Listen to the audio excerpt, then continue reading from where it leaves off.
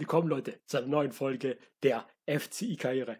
Ja, heute beginnen wir mit dem Viertelfinal-Hinspiel in der Champions League gegen Atletico Madrid. Ja, in der letzten Folge haben wir uns wirklich durch ein wirklich dramatisches Rückspiel überhaupt erst äh, in die Position gebracht, hier im Viertelfinale zu starten. Also ja, das war wirklich brutal, das Spiel in der letzten Folge. Ja, 4 zu 4 und im Elfmeterschießen dann gegen Real gewonnen. Und ja, jetzt steht Atletico an. Die haben mit Jan Oblak den vermutlich besten Torwart im Tor, den man haben kann, wenn man die Champions League gewinnen will. Ja, das wird jetzt wirklich nicht einfach. Aber ja, wir werden versuchen, hier eine gute Ausgangsposition uns fürs Rückspiel zu schaffen. Mal schauen, ob das funktioniert. Auf ins Spiel.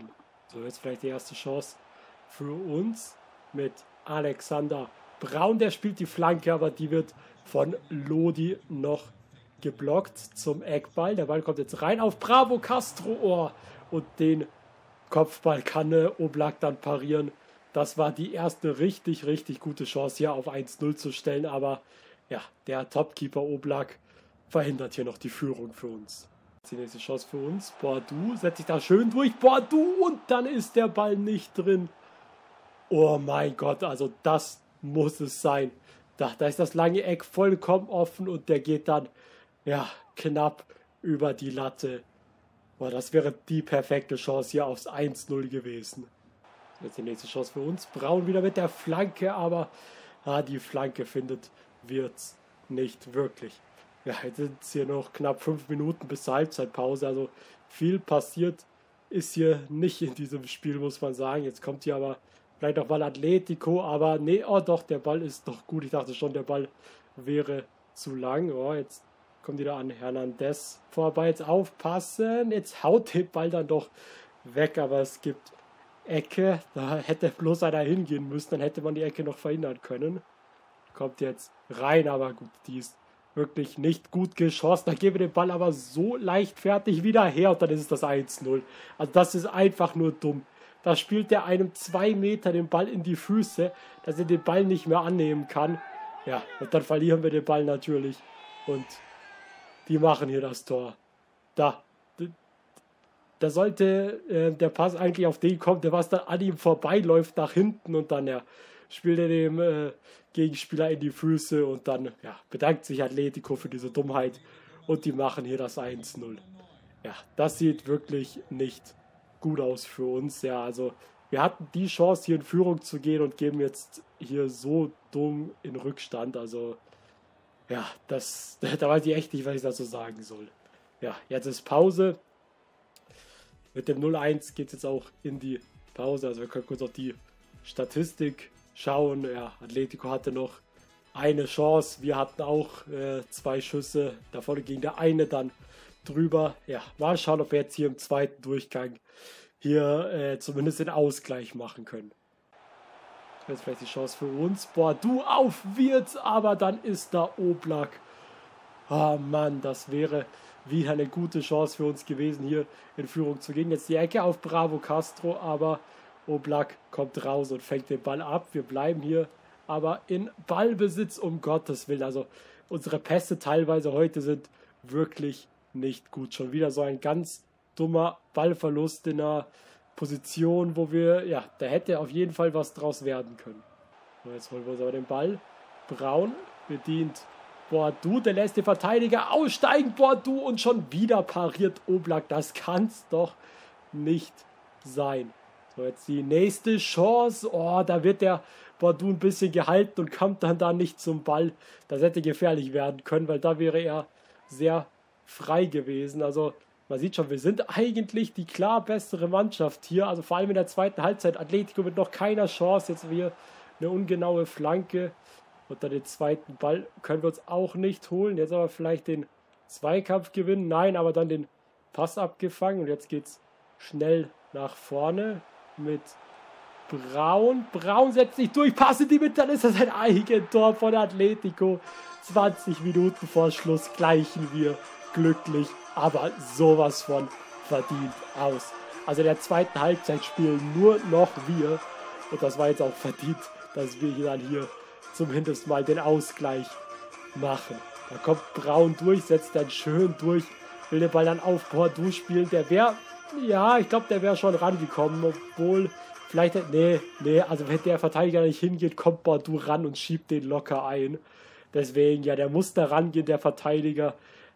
Dann, ja, es ist so oder so. Also, ob jetzt er ein Eigentor macht oder Bordeaux das Tor macht, am Ende ändert das vermutlich nicht viel für den Verteidiger. Aber ja, Glück für uns. Wir sind jetzt hier zumindest wieder dran. Und jetzt, mal schauen, vielleicht kommen wir jetzt hier noch zum Siegtreffer. Bordeaux setzt sich da schön durch. Bordeaux 2 zu 1. Spiel gedreht innerhalb von 6 Minuten. Nein, Braun war es. Braun dreht das Spiel. Ja, auch den Ausgleich hat er schon praktisch vorbereitet. Jetzt macht er hier die Führungstreffer. Ja, damit wir jetzt 2-1 vorne binnen 6 Minuten das ist ja wirklich verdient, muss man sagen. Also für die zweite Halbzeit belohnen wir uns jetzt. Oh, schau, jetzt sind hier noch 10 Minuten. Vielleicht machen wir hier noch das 3-1. Und das gibt's nicht. Atletico, die haben so viel Glück. Vom Pfosten geht der Ball dann über die Linie zum Ausgleich zum 2 zu 2. Mann, ey, das kann's echt nicht sein. Das ist so viel Glück, wie die haben hier erst noch einen äh, Lattentreffer aus der Distanz und dann, ja, so viel Glück einfach bloß der Schuss von Molejo. Ich glaube, das ist eine 6 oder sowas ist der bei denen. Ja, damit gleicht Atletico hier aus, was so unverdient ist. Die hatten bis auf diese zwei Aluminiumtreffer wirklich keine Chancen im zweiten Durchgang. So, jetzt wir mit Blondeau, aber die stehen natürlich Typisch Atletico ziemlich dicht. Hinten jetzt aber Bordu und dann ist da Oblak. Also wenn die einen normalen Keeper drin hätten und nicht einen Oblak, dann würden die hier vermutlich 5-2 hinten liegen gegen uns. Also das kann echt nicht sein, dass Oblak da einfach denen so den Hintern rettet. Aber jetzt kommt die Atletico nochmal. Jetzt hier aufpassen, jawohl, ja, jetzt ist das Spiel eigentlich aus. Ja, jetzt ist aus. Damit spielen wir 2 zu 2. Also das Spiel hätten wir echt gewinnen müssen. Also wirklich, ja, das ist einfach nur mangelnde Chancenverwertung, die uns hier fehlt. Ja, wir waren klar besser. Atletico schießt zweimal aufs Tor, zweimal ist der Ball dann auch drinnen. Ja, das ist halt wirklich einfach nur unverdient. So, jetzt steht das Spiel gegen Union Berlin in der Liga an. Da darf die B11 spielen, weil das jetzt genau zwischen den Atletico-Spielen ist. Deswegen, ja, lassen wir die B11 ran. Mal schauen, was das wird. Ein 1 zu 0 Sieg. Verdammt, verdammt wichtig. Ja, wir waren auch die klar bessere Mannschaft. Ja, gewinnen dann auswärts gegen Union stark. So, jetzt sind wir angekommen beim Rückspiel gegen Atletico. Ja, wir werden wieder mit der ersten Elf spielen mit einer kleinen Änderung. Man sieht schon, Kamerad, der wurde ja eingewechselt, hat auch das entscheidende Tor gemacht gegen Union. Deswegen müssen wir den wieder rausnehmen. Der, ja, dafür wird äh, Talhammer spielen. Der Rest sieht ganz okay aus. Bordeaux leicht angeschlagen, aber das sollte reichen. Dann lasse ich auch lieber ihn spielen, statt den fitten Ecker Jenser. Ja, bei Atletico auch ein paar kleine Änderungen. Lorente rückt in die Mitte, dafür geht Olmo auf den Flügel und Felix statt ähm, Mbolo, glaube ich, im Sturm. Ja, also auch bei denen kleine Änderungen. Aber ja, das äh, sollten wir eigentlich schaffen. Also wir müssen einfach nur so wie im Hinspiel spielen, wie gerade eben, und unsere Chancen nutzen. Das ist, also wenn wir das schaffen, dann sollten wir das auch locker gegen Atletico schaffen. Ja, mal schauen, wie jetzt das Rückspiel ausgeht. Ja, wir brauchen unbedingt einen Sieg oder ein 3 zu 3 oder ein höheres Unentschieden. Und da sind wir auch schon im, äh, ich weiß gar nicht, wie heißt es nochmal, das Stadion, äh, genau, im Stadio Metro, Metropolitano. Genau, so heißt ja das neue Stadion von Atletico. Ja, da sind wir jetzt zum Rückspiel im Champions League Viertelfinale. Ja, wir waren im Hinspiel die bessere Mannschaft, haben, äh, ja, sind an Oblak und unserer Chancenverwertung gestolpert. Ähm, der Bordeaux hätte ja ziemlich früh schon, nach glaube ich einer Viertelstunde, die 1-0-Führung machen können. Und ja, Deswegen, wir müssen jetzt einfach unsere Chancen besser nutzen, vielleicht noch ein bisschen besser verteidigen und nicht so jetzt wie hier aufpassen. Gibt jetzt hier gleich mal Ecke nach nicht einmal vier Minuten. Ja, ein bisschen besser verteidigen vielleicht noch und dann sollten wir das hier eigentlich locker schaffen. Boah, da kam jetzt der Ball aber zum Glück nochmal geklärt von einem unserer Spieler. Jetzt die nächste Ecke, die kommt aber ziemlich nah auf Lafont und der hat dann den Ball, aber der Ball kommt dann wieder zu einem Atletico-Spieler. Jetzt aufpassen. Aufpassen. Pass kommt in die Mitte durch und die machen das 1-0. Das ist doch ein absoluter Witz. Wie kann der Ball da durchkommen? Ja, Lorente, der spielt heute in der Mitte, dafür Olmo auf dem Flügel. Ja, der macht hier das 1-0 gleich mal in seiner neuen Rolle. Jetzt will ich die Wiederholung nochmal anschauen. Wie zum Fuck kann der Ball da durchkommen? Ja, also das kann es echt nicht sein, dass der Ball da so durchkommt. Das hat, dass auch ähm, Lorente da so frei durchkommen kann in der Mitte. Also das ist wirklich ein Witz. Ja, aber naja, Atletico jetzt 1-0 vorne. Jetzt müssen wir uns hier nur noch umso mehr anstrengen. Und ja, die Pässe, die waren auch schon im Hinspiel. Ja, äh, das war sonst vielleicht auch äh, mehr Tore, was da im Weg stand. Jetzt kommen wir hier aber mit Bordeaux in die Mitte. Auf wird's und der macht hier den Ausgleich. Zwölfte Minute. Damit jetzt hier wieder alles offen. Aber wir bräuchten weiterhin ein Tor. Ein 1-1 würde Stand jetzt Atletico zum Weiterkommen reichen. Ja, Bordeaux kommt da ran und dann ja, steht Wirtz vollkommen frei in der Mitte und lässt sich die Chance nicht nehmen zum 1 zu 1. Also die nächste Chance vielleicht für uns mit Blondeau, der nochmal in die Mitte dann legt da Bordeaux nochmal ab, aber dann ja, vertändeln wir dann den Ball da in der Mitte, aber setzen hier schön nach. Ist der Pass in die Mitte, nochmal abgelegt, auf Wirtz. Aber den Schuss kann dann Oblak sogar mit dem Fuß einfach nur stoppen. Der war wirklich nicht gut. Jetzt setzen wir sie hier schön unter Druck, aber dann können sie sich mit dem dummen, langen Ball befreien. Diaby spielt in die Mitte, aber abgefangen von Tomori. Und jetzt wir mit Bordeaux. Bordeaux muss dann in die Mitte ziehen. Pass in die Mitte, aber dann ja, kommt da, wird es nicht mehr rechtzeitig in die Mitte und es bleibt hier beim 1 zu 1. Jetzt vielleicht die nächste Chance für uns. Bordeaux sieht da, wird schön in die Lücke reinstarten. Wird's und der macht das 2 zu 1. Dieses Mal keine Chance für Oblak, da irgendwas zu parieren. 36. Minute Spiel ist gedreht. Ja, im Hinspiel noch äh, Alexander Braun mit einer richtig starken Leistung. Jetzt hier im Rückspiel Florian Wirz, der hier das Heft in die Hand nimmt. Und ja, jetzt hier schon seinen Doppelpack macht. Und ja, damit sind wir jetzt hier vorne und jetzt muss Atletico kommen. Bin mal gespannt, wie die jetzt auf diesen Rückstand reagieren, aber wir werden die jetzt hier auf jeden Fall es denen nicht einfach machen und die jetzt hier versuchen, ein bisschen unter Druck zu setzen und hier, wenn es geht, natürlich auf 3-1 zu erhöhen. Jetzt kommt hier aber erstmal Atletico. So, aber da hatten wir fast den Ball. So, die kommen hier aber erstmal nicht durch und dann haben wir den Ball. Da kommt Bravo Castro ziemlich weit nach vorne und holt sich den Ball. Und jetzt, äh, ja, immer noch Bravo Castro. So, der spielt jetzt mal ab, damit er nach hinten laufen kann. Und jetzt Bordeaux auf Wirtz. Der kommt sogar an. Wirtz behält da den Ball, legt nochmal ab und dann, ja, dann steht da der Verteidiger ziemlich gut bei Blondon, lässt ihn da nicht zum Schuss kommen. Und jetzt ist Pause. Ja, damit gehen wir mit dem 2 zu 1 in die Pause, was, ja, ich würde jetzt auch mal sagen, relativ verdient ist. Habe jetzt nicht so einen Überblick, wie es war, aber ja, wir waren schon die etwas aktivere Mannschaft vorm Tor. Atletico zweimal geschossen, zweimal ging der Ball äh, ja nicht mal aufs Tor. Ja, so kann das gerne weitergehen im zweiten Durchgang. So, jetzt die nächste Chance für uns mit Blondeau. Der legt nochmal ab, da hätte ich schießen sollen.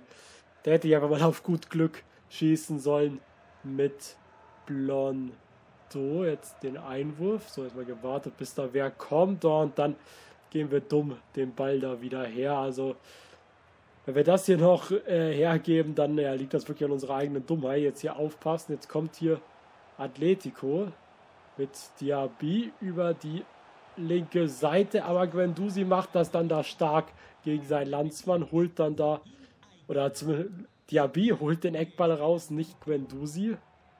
Jetzt, jetzt kommt Pogba für Lorente, alles klar. Also wenn die auf der, noch so auf der Bank haben, will ich gar nicht wissen. Jetzt Blondeau mit dem langen Ball, ja, da bekommt der Verteidiger leider noch sein Bein dazwischen. Das hätte echt gefährlich werden können. Und jetzt Atletico aufpassen und die machen hier das 2 zu 2. Da sieht man wirklich im ganzen Spiel nichts von denen. Und dann kommt da Jao Felix und macht hier das 2 zu 2. Ja, damit stand jetzt wieder alles offen. Ja, da ist ja auch vollkommen frei, muss man sagen. Und ja, dreht sich dann um den Verteidiger und macht dann das Tor. Ja. Super. Jetzt äh, ist hier wieder alles offen. Also das könnte noch lustig werden. Jetzt kommt er wieder Atletico und oh, wenn der Schuss reingegangen wäre, also dann wäre ich jetzt so richtig wütend geworden. Da decken wir den so, störe den sogar noch von hinten und dann, wenn du sie wirklich hau den, tritt einfach gegen den Ball und hau ihn einfach ins, auf der Seite ins Aus. Aber nein, der schaut den Ball da einfach zu. Also da wäre ich echt sauer gewesen, wenn der Ball dann reingegangen wäre. Jetzt vielleicht die nächste Chance für uns. Braun nochmal in die Mitte. So. Jetzt muss ich warten, bis Wirt sich da freiläuft. Dann wird die der Ball geblockt wird, kommt aber nochmal ran. Oh mein Gott, und dann blockt hinter der Verteidiger. Wenn der da rankommt, der, der wird, dann steht es hier vermutlich 3 zu 2. Jetzt kommt hier aber nochmal Atletico. Ja, jetzt kombinieren sie sich hier schön nach vorne. Oh, langer Ball nach vorne. Ja, den Schuss natürlich kein Problem für unseren Keeper. So, und jetzt versuchen wir es hier schnell zu machen, damit die hier da hinten vielleicht ein bisschen unsortiert stehen. Jetzt kommt da Braun. Braun mit der Flanke und dann ist da am langen Pfosten einer und das ist natürlich Wirtz, der sein Hattrick zum 3 zu 2 macht. Braun mit dem mit dem super Antritt und ja, dann äh, der Verteidiger mit der Nummer 5 kommt da zum Glück nicht mehr mit dem Fuß ran und Jetzt machen wir dann das 3 zu 2. Und jetzt bräuchte Atletico sogar zwei Tore. Denn wenn sie ausgleichen sollten, 3-3 wird ihnen nicht helfen. Mit einem 3-3 wären wir weiter aufgrund der Auswärtstorregel. Aber Atletico, die machen hier Druck nach vorne. Die haben hier Bock auf das äh, nächste Tor. So, jetzt können wir uns hier aber befreien. Und jetzt ist da hier viel zu viel Platz. Und Blondeau der hat. Ich will den Pass auf ihn eigentlich ein bisschen anders vorgestellt, ein bisschen steiler und in die Tiefe, aber ja, verlieren dann den Ball jetzt. Sind es hier noch fünf Minuten, ja, also ich denke nicht, dass Atletico hier noch zwei Tore macht. Ich denke, dass wir das irgendwie über die Zeit bekommen sollten. So, jawohl, jetzt holen wir uns hier den Ball auf den Flügel und jetzt nochmal in die andere Richtung und dann sollte es das eigentlich auch sein. Jetzt nochmal Bordeaux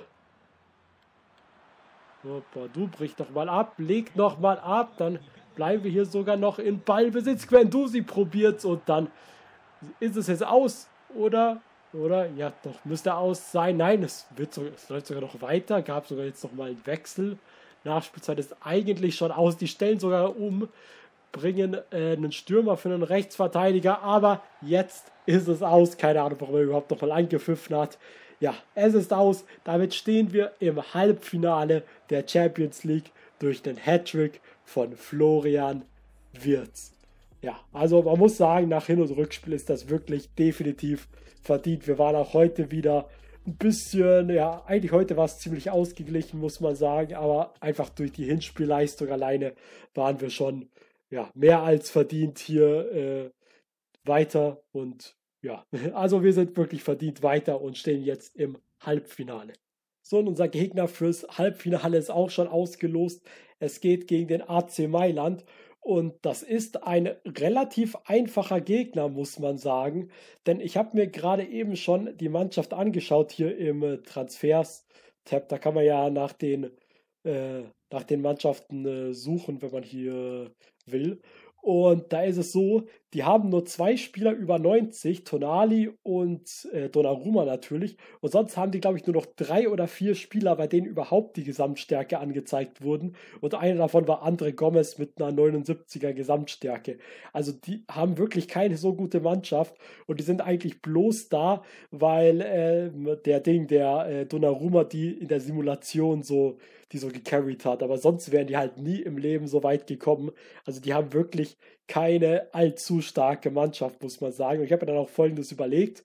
Wir werden das Halbfinale gegen Atletico, äh, gegen, hier, gegen Atletico, gegen Leipzig in der nächsten Folge spielen, dann das Hinspiel gegen AC Mailand simulieren und dann das Rückspiel gegen AC Mailand selbst spielen und dann vor hoffentlich den zwei Pokalfinals die Folge beenden. Aber ja, deswegen, wir werden jetzt noch zwei Spiele in dieser Folge mitnehmen und dann werden wir die Folge auch schon beenden, weil ich denke echt, dass gegen Atletico sollte das, äh, gegen, Atletico, gegen AC Mailand sollte das in der Simulation wirklich nicht allzu schwierig werden. So, jetzt steht aber erstmal das Spiel gegen den FC Bayern an in der Champions League.